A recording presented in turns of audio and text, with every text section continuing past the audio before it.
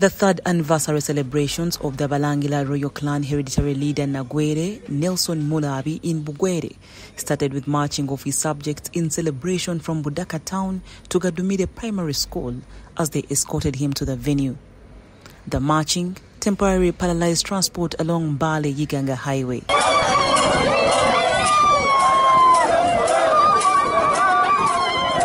Mulabi was welcomed at the venue by his Prime Minister Muhammad Ngobi and his subjects in total joy with traditional dances and music.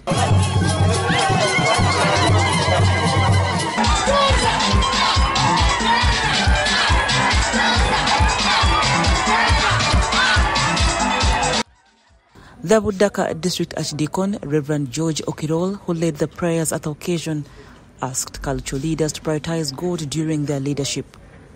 When we disconnect ourselves from God, we die. tufa Therefore, thank you, Balangira, kale bali ino balangira mwebale ino banange for connecting yourselves to God. okubanga mwegayitire oku katonda Your clan will live. era ekika kyanyu kyeyongera okwaba mu maiso Your king will be blessed. Be a blessing to all other clans. The Prime Minister of the clan, Haj Muhammad Ngobi, commented on the alleged differences with the Ikumbanya leadership.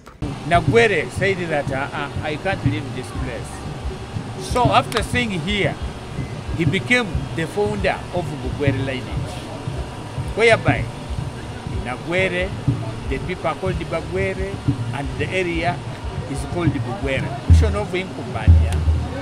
We are together with it. We are not in wars. What you want is to be united so that let them accept Nagwere to unite Bugwere as a united family. Mulabi asked the residents to embrace various government programs aimed at fighting poverty.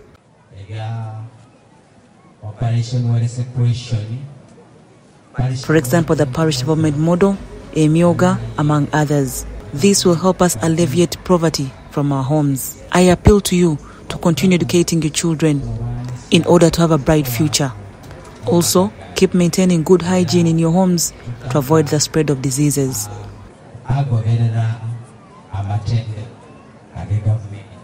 The chairperson organizing committee, Lupia Ephraim, highlighted on the clan objectives.